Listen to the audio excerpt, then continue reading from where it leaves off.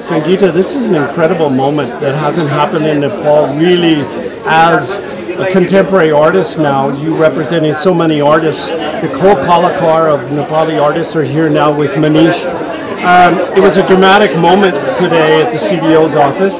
Can you just summarize what has happened here? Uh, what's really happened is that the World Hindu Federation has deemed the works made by Manish Harijan as anti-national and anti-Hindu. They filed a case in the CDO office in Hanuman Dhoka police station asking for the arrest of this artist and of, the, and of myself. Um, we were summoned uh, to the CDO Karle today and the artist gave a detailed description of every painting, but the gallery is still sealed. At no point in the last 50 years has a situation like this occurred, uh, and I read this as uh, an attack on contemporary expression in Nepal.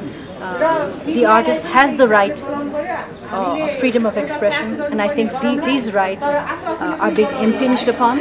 And if we allow this to happen, it'll, you know, we will have fundamentalist groups walking into other galleries, into other exhibitions, and deciding and dictating what can be shown and what cannot be shown. So we have to fight this. Okay. Thank you very much.